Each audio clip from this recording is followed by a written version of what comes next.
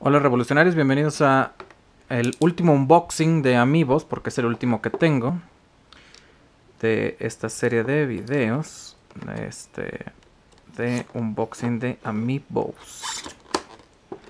Entonces, esta vez le toca a Link. Ah, Entonces, ya nada más lo sacamos de su empaque.